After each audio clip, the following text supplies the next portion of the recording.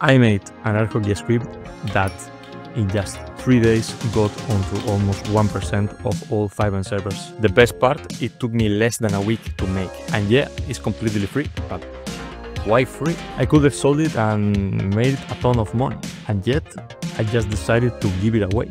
My journey with FiveM scripts started years ago, but like just about a month ago, I started Sergio Verse. My first big project was Cornhole. I analyzed stats, set prices, projected sales, everything. The result, a total disaster. I sold four copies. And that's when I realized something super simple. I could have had the best script in the world, but if no one knew or trusted me, who would buy it? So I thought I need to get noticed, and what a better way than giving away a script for free. That's how air hockey idea was born.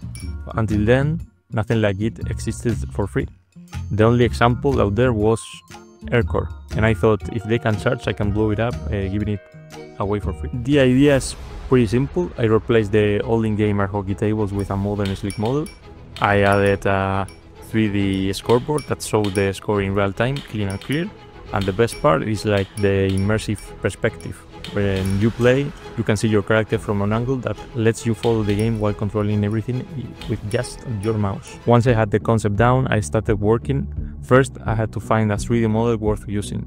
I bought it and converted it to GTA 5 using Sollumz.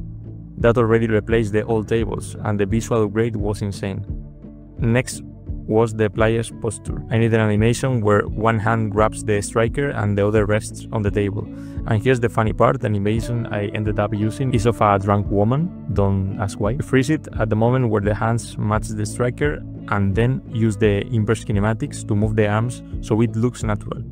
Finally, slightly rotate the body and move it to improve the reach and make it feel more realistic. Then I set up the camera so you can see your character playing the table, the scoreboard and the opponent. That way the experience is clear, immersive and just fun to watch. So next to the puck physics, I had to bounce off the walls, losing a bit of speed with every rebound. But the key part, collision with the striker. That's where it all happens. How it bounces, the speed and how the puck responds to your hits. After tons of testing, I got it fast and realistic. For the scoreboard, I picked a digital font I liked, made a texture with all the numbers and used FiveM markers to draw it in real time on the 3D board. When everything seemed smooth, I hit the big challenge, syncing all the players. The problem, the server only updates 20 times per second. If everything relied on it, the game would feel slow and clunky. Puck bounces would lock off, collision would be wrong, and the whole thing would feel broken. Honestly, there was a moment I thought I wasn't gonna figure it out, but then it hit me.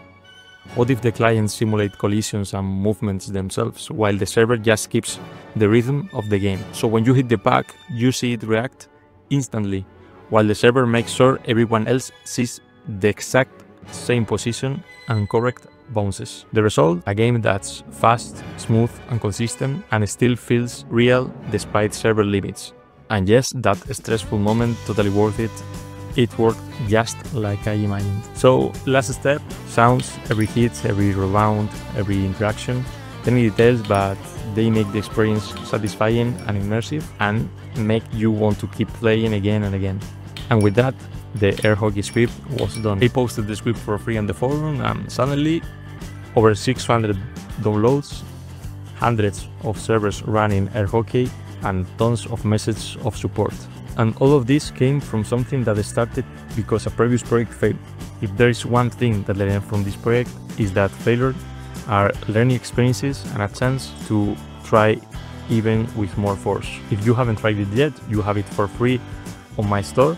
And if you like this video, subscribe because this is just the beginning. Also, if you got any ideas for new projects, drop them in the comments.